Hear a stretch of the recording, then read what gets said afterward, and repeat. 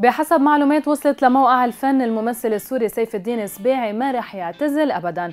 إنما عم يتحضر لتوقيع عقد عمل سوري ضخم جدا بضم نجوم من سوريا ولبنان ويمكن مصر وتونس. وجهت الفنانة السورية أصالة رسالة مؤثرة لبنتها شام الذهبي بمناسبة مناقشتها رسالة الماجستير وذلك عبر حسابها الخاص على أحد مواقع التواصل الاجتماعي. فنشرت صورة إلها مع بنتها وقالت هاليوم من أيام أنا رهنت عليه هو أجمل وأسمى مما أنا حلمت. بتطور جديد بالقضية اللي أدخلت الفنان المصري رامي الصبري السجن بتهمة تزوير أوراق ثبوتية والتهرب من الخدمة العسكرية. كشف الملحن المصري حسن الحلو أنه الصبري رح يطلع من السجن بعد ثلاثة أشهر.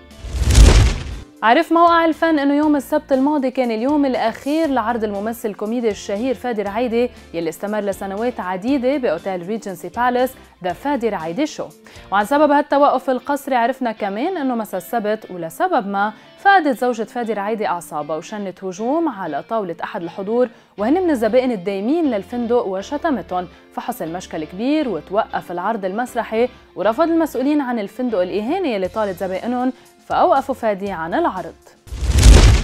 عبر حسابها الخاص على أحد مواقع التواصل الاجتماعي نشرت الممثلة المصرية زينة صور جديدة من أحدث جلسة تصوير إلها طغى عليها اللون الأسود. وانهالت التعليقات من قبل جمهور الممثلة زينة على الصور وأثنوا على جمالها وجاذبيتها.